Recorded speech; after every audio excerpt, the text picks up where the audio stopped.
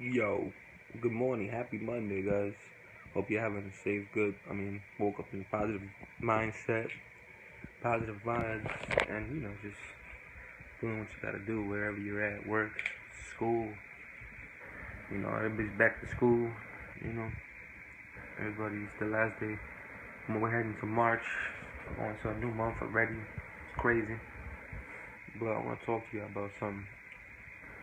There's a video with this fucking girl, Catch Me Outside, Danielle, something, I don't even know her last name, I can care less, but I'm sick and tired of this fucking girl, and she's just everywhere, and that's the problem with the media. The media will push something like that on our little, on the youth or teens, and so they could, they think they can talk to their parents like that. That's the problem. They want to dumb down on us.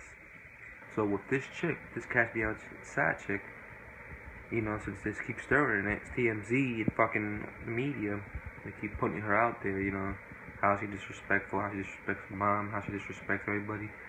Matter of fact, she was in a bar, she was stirring some conflict, instigating some some shit, and then they wanted to fight her, and then she was running, she went running with her stupid friends. I don't know where the fuck she went, but The, the media uses this chick, man, to dumb down our teenagers. That's the problem.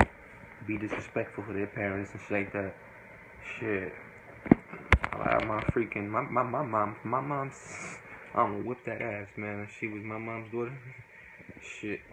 That's the problem, you know what I'm saying? And that's the, the media. I blame the media because the media keeps pushing her out, out there and shit. Catch me outside, this and that, making videos now she's in a bar. She was arguing with for somebody, and then they were trying to fight her. She's everywhere. It's getting really annoying. But they're gonna keep doing that because they wanted to dumb down our teams. That's why they keep doing it. You know what I'm saying? The media. So check this video out. I'll leave it below. Was this idiot again trying to start instigate fights at a bar? I don't even know. But check it out. I'll leave it below.